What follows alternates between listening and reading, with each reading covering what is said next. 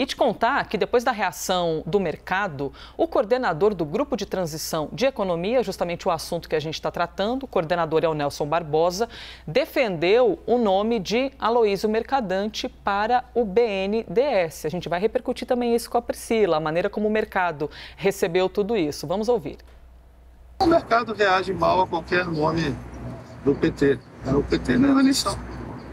É, e eu acho que o Mercadante, assim como na semana passada já disse sobre Haddad, o Mercadante é um dos principais quadros políticos do PT e do Brasil.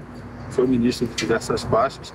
Ele tem capacidade, eu tenho certeza, de fazer um ótimo trabalho em qualquer cargo para o qual ele seja apontado.